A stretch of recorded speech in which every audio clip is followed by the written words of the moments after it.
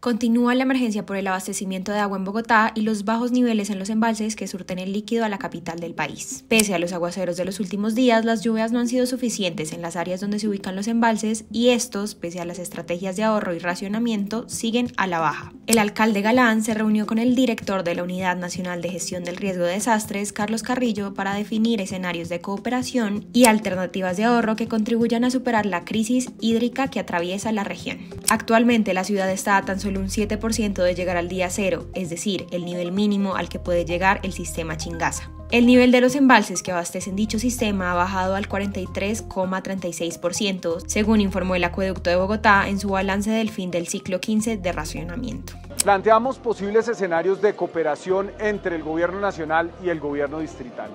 También seguiremos trabajando para definir si habrá o no una declaratoria de emergencia o cuáles pueden ser los mecanismos que el gobierno nacional emplee para colaborar, para cooperar, para concurrir en la atención a este problema que hoy afecta a todos los bogotanos. Hablamos de distintas alternativas, hablamos por supuesto de cómo van los avances de los trabajos que realiza el gobierno distrital en, el, en Tibitoc, hablamos de distintos temas que se abordarán de manera técnica en comités técnicos.